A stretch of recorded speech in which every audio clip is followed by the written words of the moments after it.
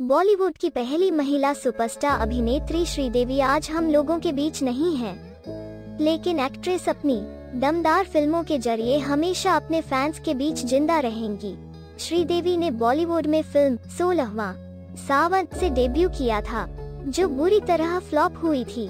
लेकिन इसके बाद एक्ट्रेस ने एक से बढ़कर एक हिट फ़िल्में दी, जिसकी वजह से लाखों करोड़ों लोग उनके दीवाने हो गए थे। श्रीदेवी ने अपने करियर के शुरुआती दिनों में ही पाकिस्तान में ज़बरदस्त फ़ैन फॉलोइंग हासिल कर ली थी। इसी वजह से वहाँ भी फैंस एक्ट्रेस की हर नई फ़िल्म के रिलीज़ होने का इंतज़ार करते थे।